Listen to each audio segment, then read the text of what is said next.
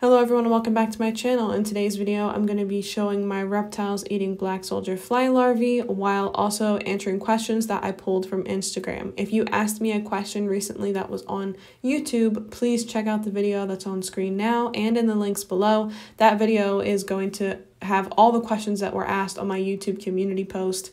So yeah, if you feel like you missed yours in this video, it's not, it's just because it's in that video. One more thing I want to say is that these black soldier fly larvae were provided by Eco Flys. I will leave a link for them down below. It is an affiliate link, so if you feel like getting some black soldier fly larvae for your reptiles and you also want to support me, that's a good way to do so. But with all that said, let's go ahead and get started with the questions.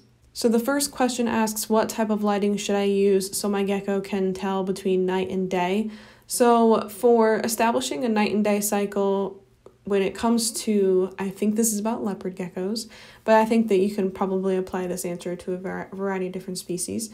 But you just want to have a fluorescent light, incandescent LED, something that's not going to put off a lot of heat and something that's going to provide just like a actual light time during the day and then when it's nighttime that light goes off. One thing to keep in mind is that there are morphs of leopard gecko that are sensitive to light, including the different albino strains, which are rainwater bell and Tremper albino, but any sort of albino can be sensitive to light. In my experience, I think bell albinos are the most, especially if it's like a bell eclipse uh, or bell albino eclipse. If you're keeping your leopard gecko in a room that has a lot of natural daylight, that is going to suffice. It, unless you're like in total darkness in the room where your leopard gecko is being kept, you're not going to have to worry about providing a lot of daytime light for them to be able to differentiate between night and day. Someone asked, How do you know how much to feed? So it just depends. It's going to vary from gecko to gecko and it's going to vary from insect to insect. If you're offering a small insect, you're going to want to offer more of those. If you're offering a larger insect, you're going to want to offer less of those. If it's a more fatty insect, you're going to want to offer less of those. If the gecko is a juvenile, it's going to eat more frequently than an adult, and if it's an adult, it's going to eat less frequently than a juvenile. Just to make sure that I get to everybody's questions, I'm going to defer this one to my leopard gecko care guide, which I will leave down below. Since you just want to answer this specific question, make sure you check the timestamps in the description of that video and it'll take you right to their feeding. Someone said, where do you see yourself slash channel in five to 10 years? Hopefully successful and not just like successful in the you know the monetary sense but in the sense that well mostly monetary mostly monetary. Um i really enjoy what i do on youtube right now and i appreciate my audience and i appreciate how many views i get but it would be better if it was more self-sustaining that like I didn't have to constantly be thinking about, you know, like how much I was making on YouTube or from other like online sources like a Patreon or whatever. So I would love to be in a place where I can spend money on like enclosures or on different types of decor or anything like that without having to really think about it.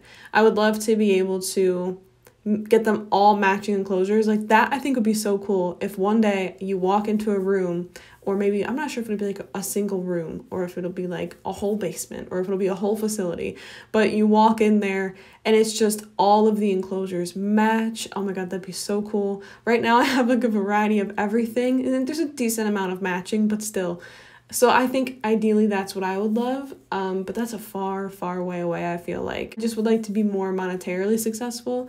That way I could do more, not just for the animals I have now, but for the animals that I could have in the future. Like I would love to be able to actually like rescue and rehome. I'd love to be able to, whenever I see an animal in need, not even have to think about if I can support that animal long term or even short term or if I have space for I would love to just be able to be like I can do this and even if I don't keep it long term like I could take it in get it to the vet heal it up rehome it like I'd love to not even have to feel bad when I have to say no to someone or if I have to come across like a listing on Craigslist or online or something someone in the community shared and have to think like I can't do anything about that right now financially and in terms of space and yada yada. So I'd love to get to a place where I could do stuff like that. Another question asked, do you have a reptile first aid kit? If so, what do you recommend? So I wouldn't say I have like a first aid kit, but I do have a drawer in the pet room closet that has things like Q-tips and little like syringes where you can like pull medication into or water. I also have saline solution. I have I think it's pronounced terramycin. It's the antibiotic eye ointment that you can buy over the counter. It's not something that you need a prescription for. I also have neosporin without pain reliever in it. Someone else asked how much of each insect do I feed my leopard gecko? And again, I'm going to redirect your question to my leopard gecko care guide just because I feel like that is a, really long question. I just want to make sure I have enough time to get to everybody. So again, please check the leopard gecko care guide that is linked at the bottom or down below this video.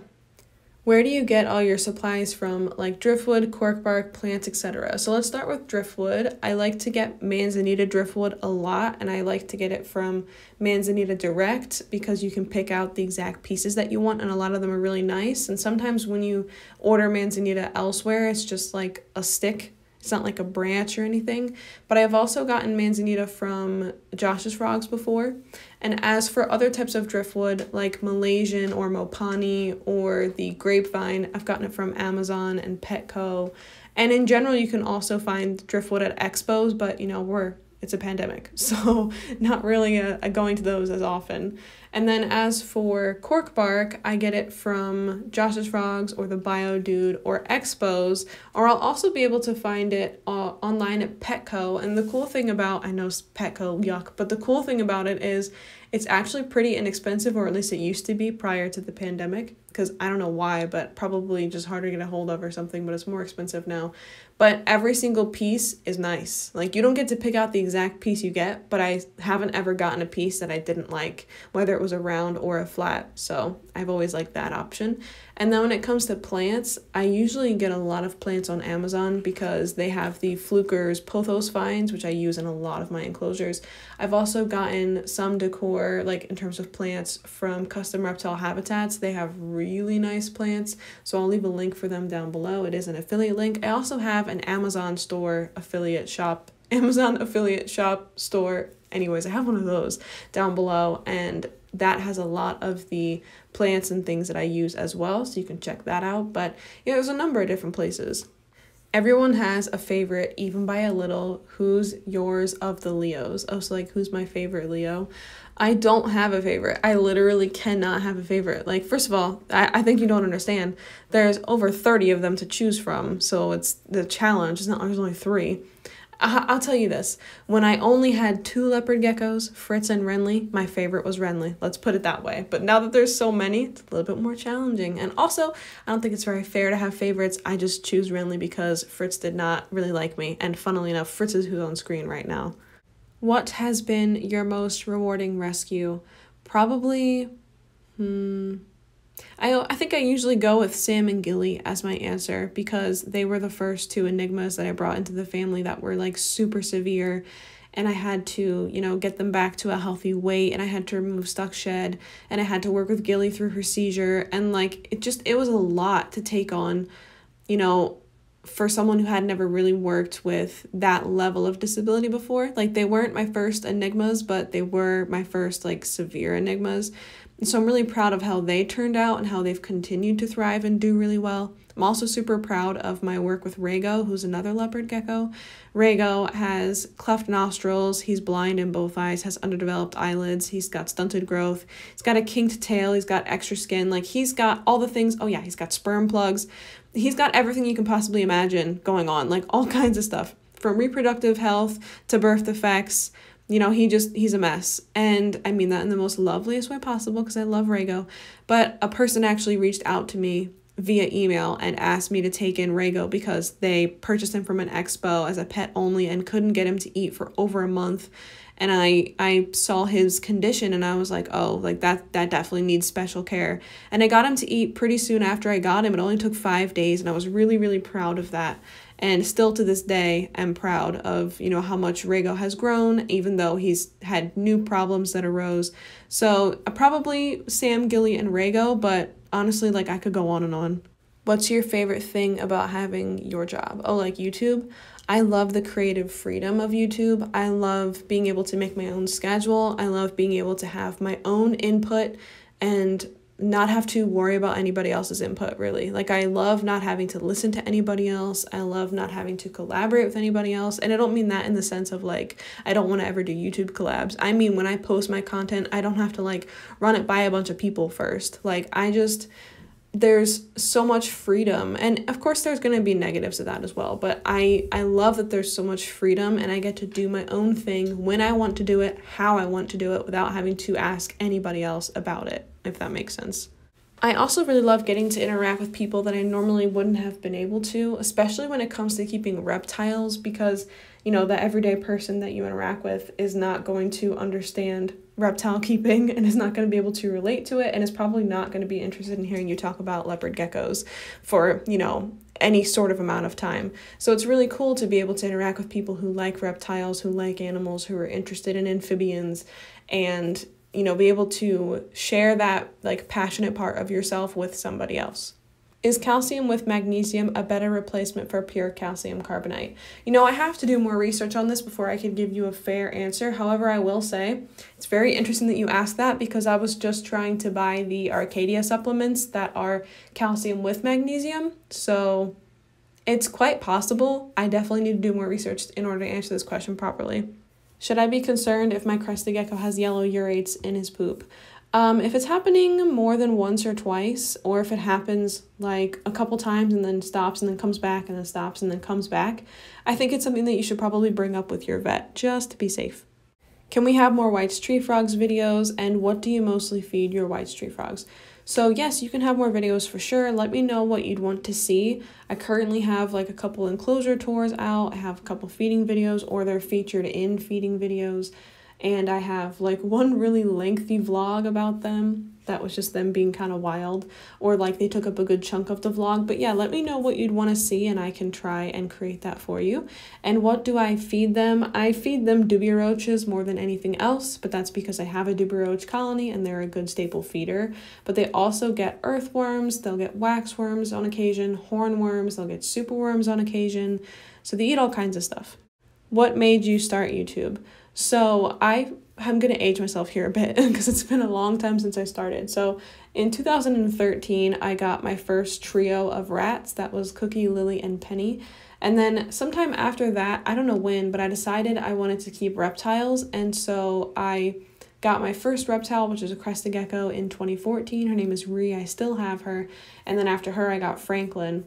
And then after them two, it was 2015, and I got an axolotl. And then I got my first leopard gecko that year as well. And so I was just really starting to get into keeping amphibians and reptiles. I just thought they were super cool. And I also had my rats still. So I was sharing them on Instagram in 2014 and 2015. And then I shared them there for a few years. And then I noticed that, like, people were asking me a lot of care questions or they wanted to see them more often and in like longer content. Like people wanted to see all the pets i had. And i was like i can't really show that on instagram because it doesn't let you post like long videos. I think back then it was only like a 30 second video so then I was like, okay, let me see if I can like post on YouTube. And people had been telling me to post on YouTube, but I was like, ah, I don't really want to. I don't really know if it would get any views. I don't really know like what I would even post. Like I'm not sure how to make entertaining content on YouTube. But I was like, let me just post like, okay, I'll feed all my leopard geckos in a video that way you guys can see them all. Or like I'll do an unboxing of when a reptile arrives or something like that. And I would just post them every so often. Like every few months I would post something. And that was in 2017 2017. And then at the end of 2017, I noticed that I had over a thousand subscribers. And I noticed that I had videos that had like 18,000, 30,000 views. And I was like, what the heck? Like, maybe I should actually take this seriously. So I monetized the channel. And then in 2018, the very first month of 2018, I was like, okay, let's start posting like every single week.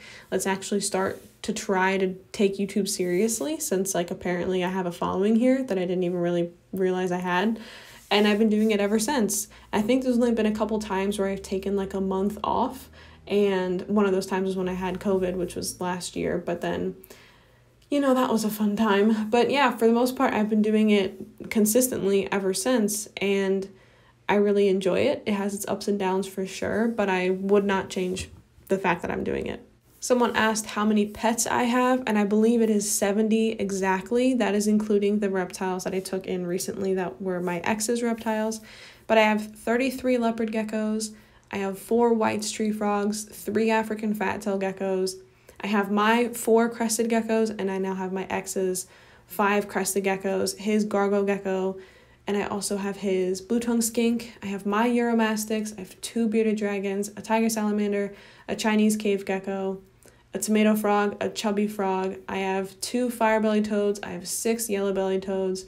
I have a Leachianus gecko. I have a red eyed crocodile skink, a Peter's banded skink, a fire skink, and I have a dog. And I think that's everything. I just counted it like based on the enclosures as I was reading the question. So that's how I got 70, but I'm not sure if I just included all of them here. So if I forgot anybody, I do apologize to them, but the number is 70. I lied. It's 71. I forgot my garter snake Mikasa. So 71 is the number if you're not counting all my isopods. And that's counting each individual animal, not each enclosure.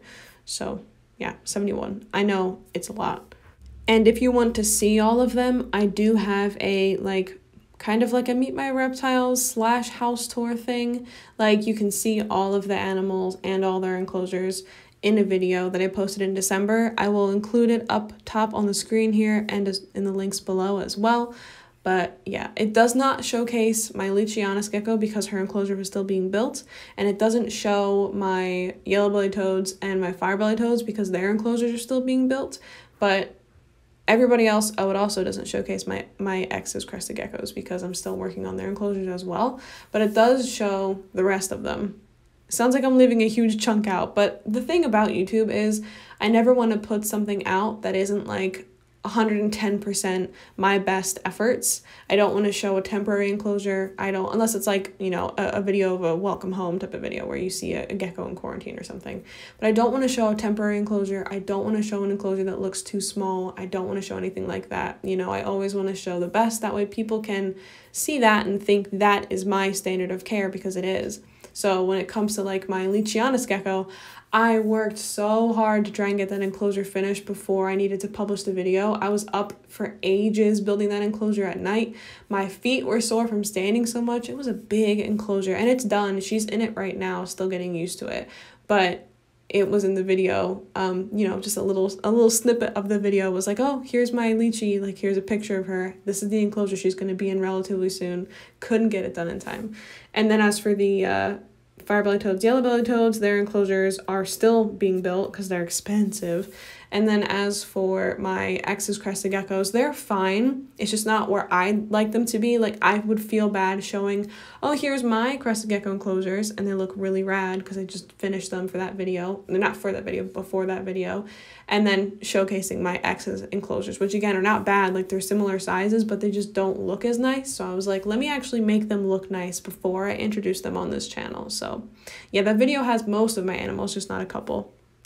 Hello, I don't have a question, but I have a leopard gecko that is not getting better. I don't know what to do and I need help. So I get these kind of questions a lot. I know a lot of pet YouTubers do.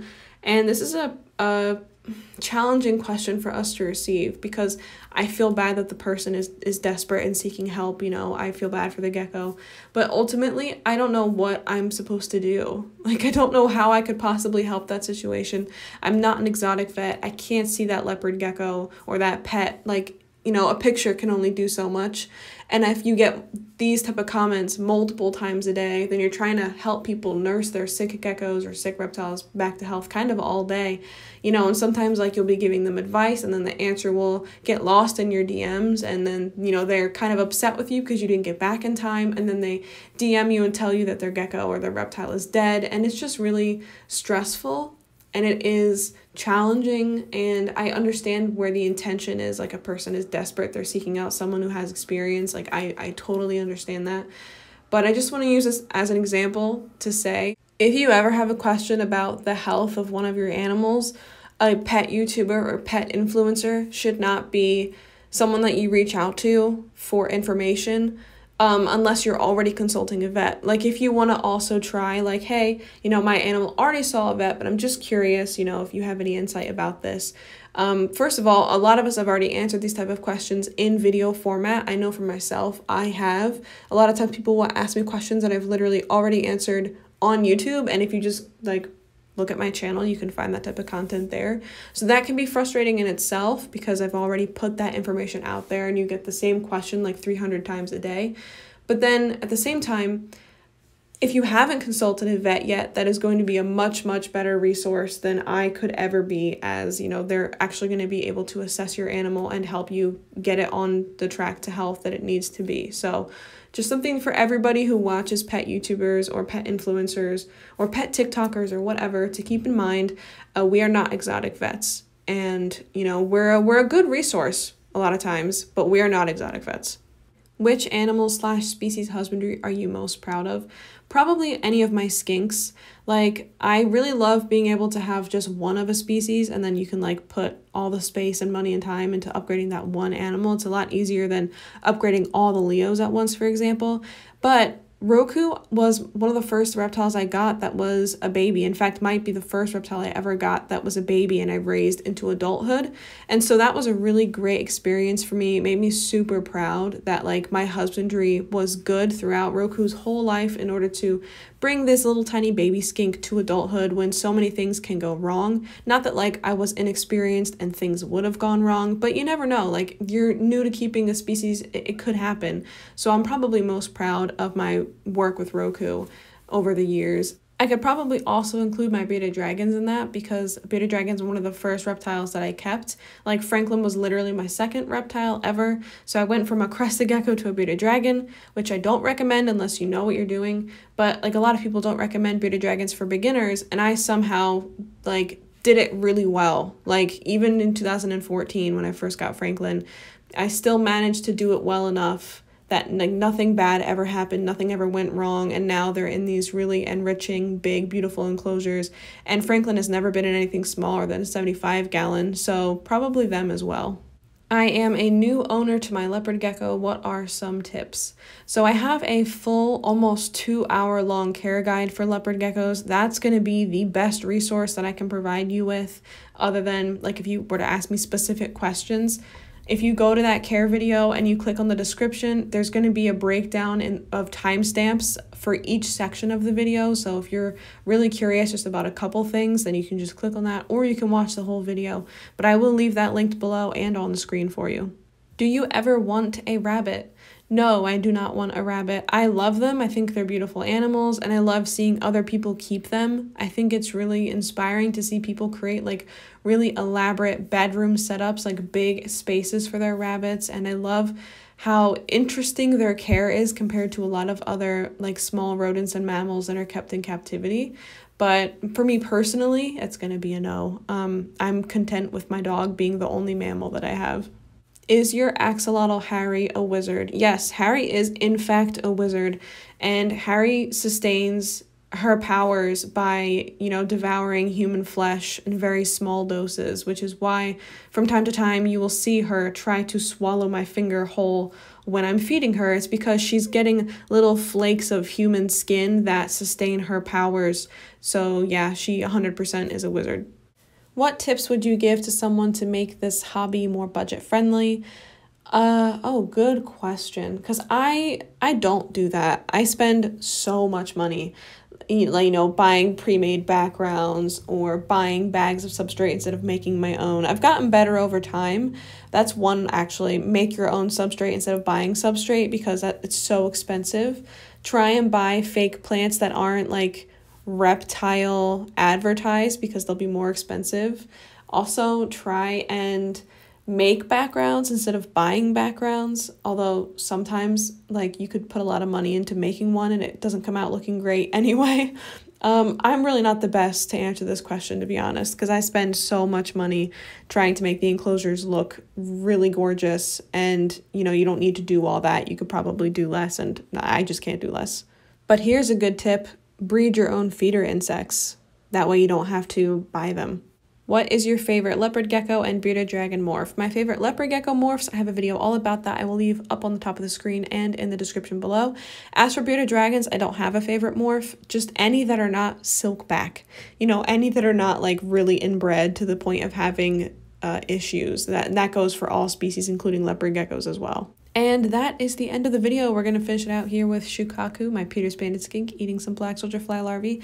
I thank you so much for watching. I hope that you enjoyed. If you did, let me know by leaving a like. Also, please comment, subscribe, hit the notification bell, all the good stuff, and I'll see you guys in the next one. Bye!